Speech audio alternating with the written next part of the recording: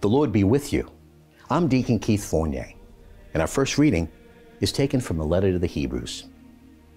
In the fight against sin, you have not yet had to keep fighting to the point of bloodshed. Have you forgotten that encouraging text in which you are addressed as sons? My son, do not scorn correction from the Lord. Do not resent his training, for the Lord trains those he loves and chastises every son he accepts. Perseverance is part of your training. God is treating you as sons. Has there ever been any son whose father did not train him? Of course, any discipline is at the time a matter for grief, not joy. But later, in those who have undergone it, it bears fruit in peace and uprightness. So steady all weary hands and trembling knees, and make your crooked paths straight. Then the injured limb will not be maimed. It will get better instead. Seek peace with all people and the holiness without which no one can ever see the Lord. Be careful that no one is deprived of the grace of God and that no root of bitterness should begin to grow and make trouble. This can poison a large number. And our response? It's taken from Psalm 103. Bless Yahweh, my soul.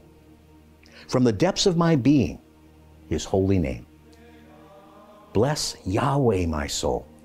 Never forget all his acts of kindness.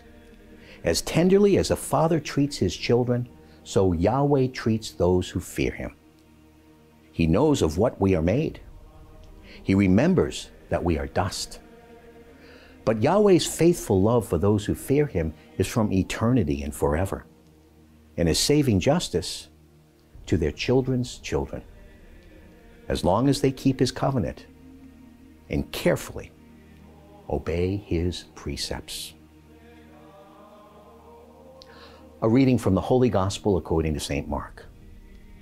Leaving that district, Jesus went to his hometown, and his disciples accompanied him.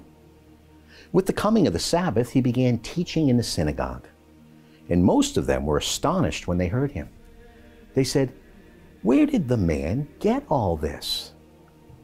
What is this wisdom that has been granted him?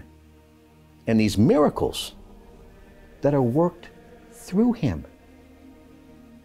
This is the carpenter, surely, the son of Mary, the brother of James and Joseph and Jude and Simon, his sisters too. Are they not here with us? And they would not accept him.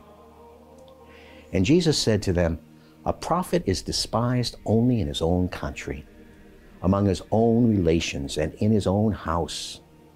And he could work no miracle there, except that he cured a few sick people by laying his hands on them. He was amazed at their lack of faith. He made a tour round the villages teaching. The Gospel of the Lord.